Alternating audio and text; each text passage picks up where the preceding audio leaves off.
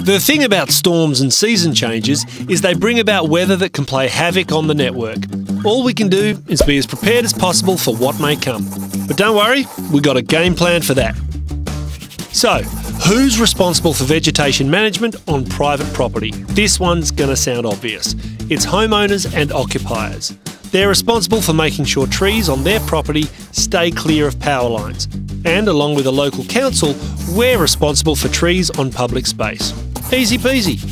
Like anything in life, heaps of unpredictable things can happen in and around the network. Here's our plan for that.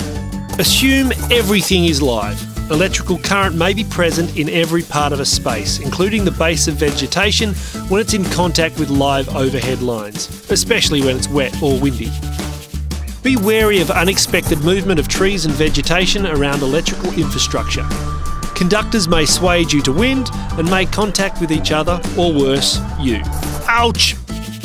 Be wary of changing conditions in your work area, such as traffic, pedestrians, and livestock interfering with the work.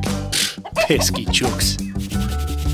When trees come into contact with power lines, they can cause power failures, bushfires, and serious accidents. So, here's the plan. Trees must never be within 2.5 metres of power lines. They're full of water, and water can be a pretty good conductor in the right conditions. Trees that are touching power lines must never be cut by anyone who is in an uninsulated elevated work platform or in an earth situation, for example, standing on the ground or working within a tree.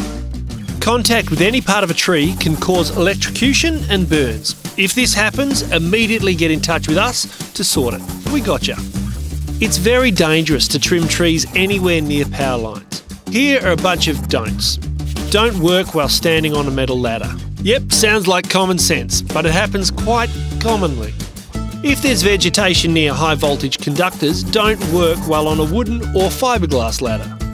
In fact, don't work near high voltage conductors at all.